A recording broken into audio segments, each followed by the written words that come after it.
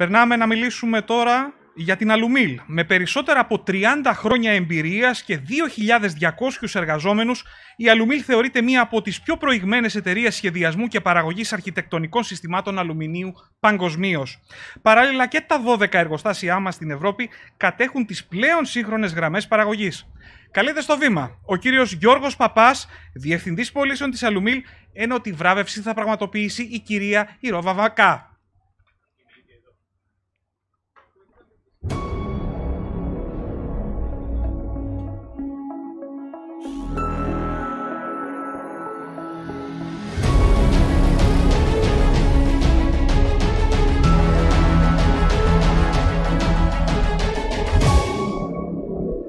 Και μία μικρή διόρθωση είναι Σταυρούλα Βάμβακα. Συγχωρέστε με.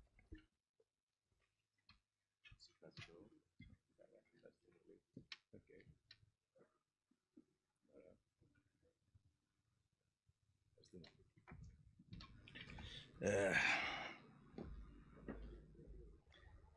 έκανα σύνοψη.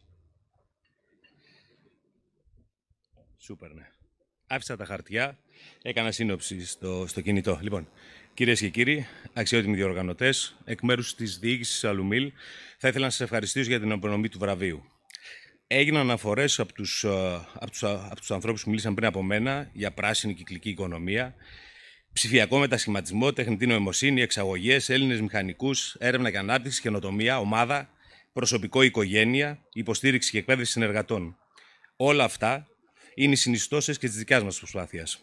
Τώρα, όσον αφορά την μπουνιά Tyson Pavla COVID, θα έλεγα πως για μας ήταν μια απρόσμενα δυνατή σπροξιά η οποία μας όθησε σε εξαιρετικά οικονομικά αποτελέσματα τόσο το 2020 και πολύ αισιόδοξες προβλέψεις για το 2021 για όλους εμάς, τους αλουμίλερς, που στόχος μας είναι η βελτίωση της ζωής των ανθρώπων, ενισχύοντας επιδόσεις και χαρακτηριστικά των κτηρίων, η σημερινή βράβευση αποτελεί το επιστέγασμα των εστόρα, των εστόρα προσπαθειών μας. Σας ευχαριστούμε θερμά.